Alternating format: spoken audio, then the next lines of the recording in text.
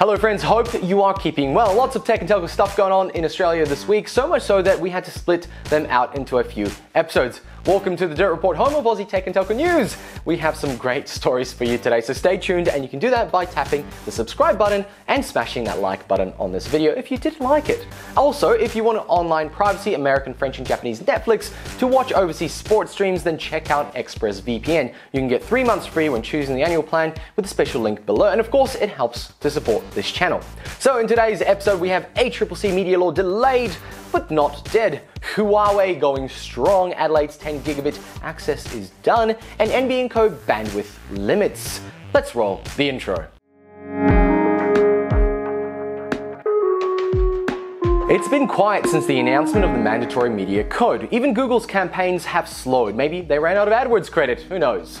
There has been some whispers that some media outlets have already made deals under the table with social media and search giants, but that doesn't mean the catalyst that started it all is gone. No, no, no, no. ACCC chairman Rod Sims said we're still in the ring. While there has been some delays in getting the legislation to before Parliament, it has nothing to do with the calls to stop it at all. He said the delay is caused by the national budget and amongst the human malware pandemics, it's certainly busy times.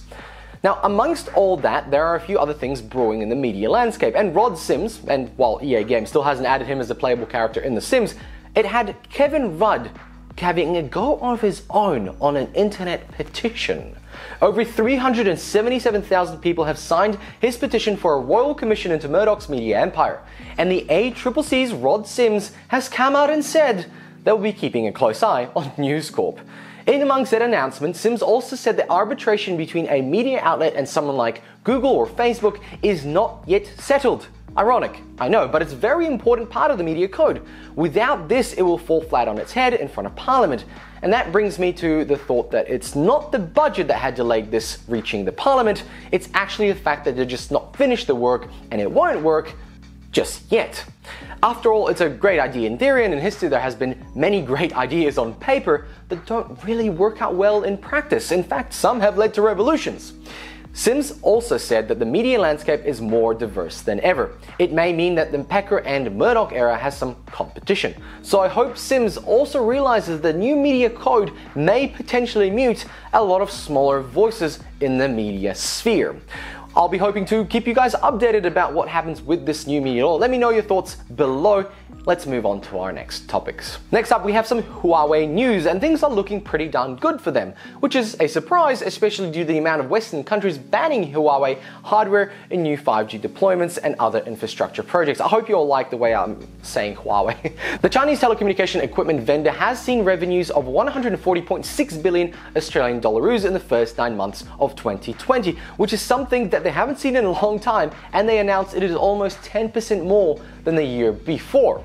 So instead of deploying 5G towers, Huawei has been selling 5G mobile phones and increased their revenue has come from just the mobile arm. And it's not hard to see why. There are yet to be any Huawei 5G mobiles available in our local mobile stores, such as you know, Vodafone, Telstra, Optus, but they certainly have devices available online that you can buy right now. Companies like Samsung, Google, and OnePlus make premium handsets that used to be alternatives to the overly expensive iPhones. Now they are one and the same. In fact, some, especially from Samsung's side, are even more expensive. So it's no surprise when a manufacturer like Huawei sells mobile phones at similar specs using the same software as the others at lower prices. Some models I would like to add look and perform better than their competitors, which are two times more expensive. You see, with Android phones, people are used to lower prices, getting more for your dollar. And while Samsung continues to chase that big premium market, other Chinese mobile makers are taking low to mid market, and the mid is starting to feel pretty darn premium. Now, on the other hand, there is no particular big news about how their 5G tower hardware arm is going. Let me know below if you have any consideration in buying a 5G phone and what brand.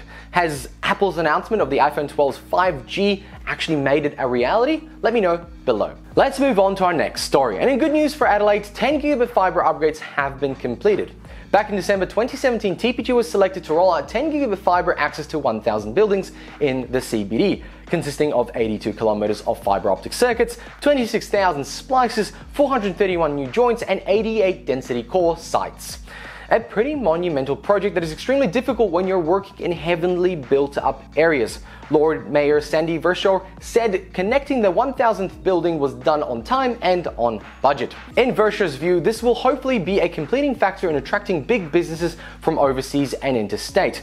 Many businesses today require fast digital infrastructure, and businesses that need that are also making bank. So the City of Adelaide Council is hoping for a big influx of business that will hopefully bring positive return on investment from this project.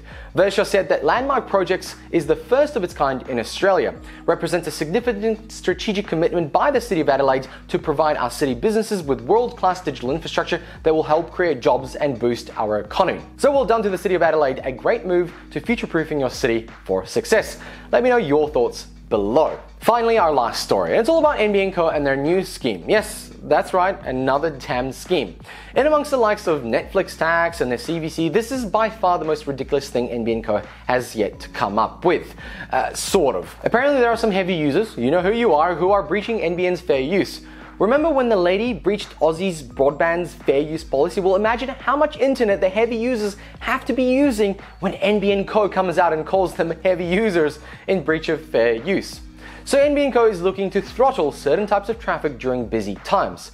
First off, it's a bit ridiculous that NBN Co is getting all up in arms about this, and second of all, it's effing censorship. And some of you may not care about that because it's only potentially happening on fixed wireless networks. Alright, I might be getting ahead of myself, or maybe not. So what's actually going on? Well, NBN Co is looking at proposals to limit the bandwidth of certain traffic types on their network. This includes peer-to-peer -peer software, and software patches and game patches and updates to other softwares, VPN traffic, ultra high definition videos, all during busy times. In the past, during the ADSL era, ISPs had done similar things, and that was understandable because they were not a government entity, and in both cases, more of a technology limitation too. In a statement, NBN Co said they have found some users continually hammering their towers with digital hammers, and that 1.65% of users accounted for the use of 18.5% of total uplink capacity, which is nothing to laugh at, but nonetheless, I laughed a little bit. According to IT News site, the biggest offender is peer-to-peer. And here is the expected speed you will get during busy times for each type and it's pretty painful to see.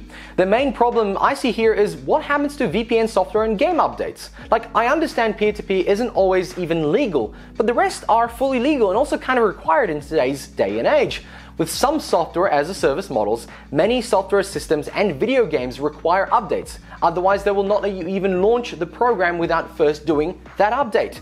Imagine having to update at that speed. Imagine needing to do something really quickly, and the update itself is already wasting your time, and then your internet will be throttled it may not be censorship, but it's certainly a stupid inconvenience. NBN Co has invited RSPs to comment until December 3rd, but they will do whatever they want. I can't remember the last time RSPs commented on something and got their way. Let me know your thoughts below. Are these ridiculous? Should it just be peer-to-peer -peer that's throttled, or anything at all? So, on that bombshell, I bid you goodbye. Make sure to like this video if you did and subscribe if you'd like to see more and support this channel. Thanks for watching, have a great weekend, and we'll see you next time. Bye! Thank you.